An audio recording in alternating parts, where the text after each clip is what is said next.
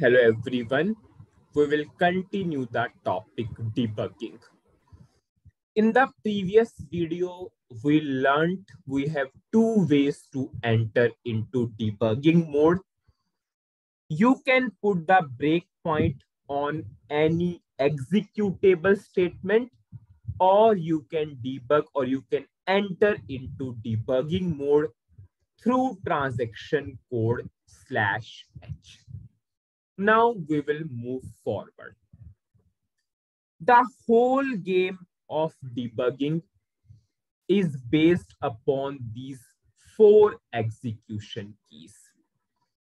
What are those four execution keys? F5, F6, F7, F8. F5, step-by-step -step execution. F6, line by line execution. F7, return. F8, continuous execution or exit. If we know how to use these four keys, it means we can easily learn the debugging. Whole debugging is a game of these four keys only. F5, F6, F7, F8. Now I will go to a program and we will see how we can debug the code through these four keys, through these four keys. I will go to the program. This is the program, suppose. I am putting the data on 37 number line, suppose.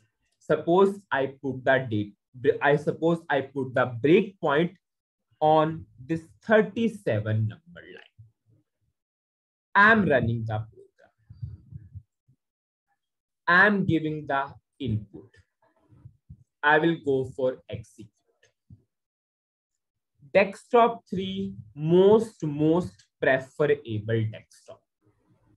Now, see whenever you are going for desktop 3, code and variable values you can see parallelly. That's why it is always, always most preferable desktop. In the future, I will come on to other desktop also. Just whenever you want to debug, always, always prefer desktop 3. I am on 37 number line. In this 37 number line query, we are fetching data and data is coming into this internal table lt underscore data one. Suppose if I will double click on this internal table, you can see on the right hand side, it is appearing in the variable. It is appearing under variable. So you can debug the code parallelly, you can see the variable values here. I am on 37 number line. I will consider this as a step because you are fetching data from the table. In this particular step, you are fetching data from the table. I'll simply do F5. You can see F5, F6, F7, F8. Or you can use the same keys through keyboard also. It's your wish. Suppose I am doing F5. And you can see when we did F5, our first, first query executed and I moved on to 42 number line. Currently, my cursor is on 42 number line. And you can see data came into the first internal table when my first query executed. When my first step executed. I am on 42 number line. It is also a step in which we are checking the if condition. I am doing F5. You can see I'm on 43 number line. On 43 number line, we are again fetching data and we are storing into internal table, second internal table. I double click and you can see internal table name appeared here. If I'm opening this internal table, you can see it does not have any record and it has four columns. Without opening the internal table, you can simply tell from here also. Zero record, four number of columns. I am doing F5.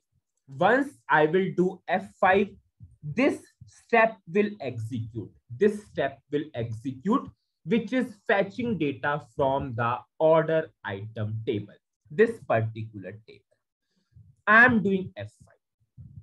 And you can see in my second internal table, this second internal table, 13 records came, 13 records came, and it has four number of. Previously, it has zero records. When this particular step executed, 13 records came in the internal table. I'm doing F5 again. And you can see I'm on 52 number line. On 52 number line, we are doing the sorting. It is again one step, single step. Now I'm on 53 number line. I'm again doing F5. Now I'm on 56 number. So this is F5, step by step execution. You are doing step by step execution. Now, I will go for F6 key and then we will cover the difference between both of them. I'm going for executing the program. I just came. Now, we will debug the same program through F6 key and then we will see what is the difference between both of them. I am giving the input. I'm clicking on execute button. Desktop 3, most preferable desktop, most preferable. Now, what is F6 key? F6 is line by line execution. F6 is line by line execution. Now question comes, how you are recognizing a line in SAP? Whenever there is a dot at the end, that is considered as one line in SAP. Simple. This select query starts from 37 number line. There is no dot between. There is a dot on 40 number line. So this is one line in SAP. This is one line in SAP because dot is there. This is one line in SAP. This is one line in SAP. This is one line in SAP. One line in SAP. One line, one line. So I can execute this code using F6 key. F6 is line by line execution.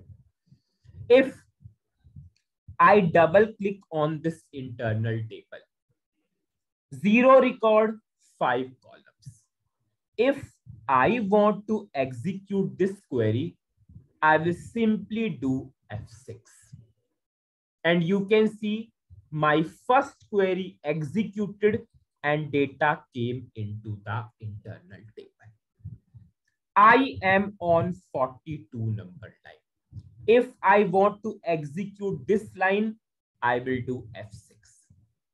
If I want to execute this query, this is one line, I will do F6. Suppose if I open my second internal table, Currently, it has zero number of records. Once I will do F6, you can see this internal table has 13 number of records. So we are executing the code line by line. I am doing F6. Now I am on 52 number line. If I want to execute this line, I will do F6. If I want to execute 53 number line, I will do F6.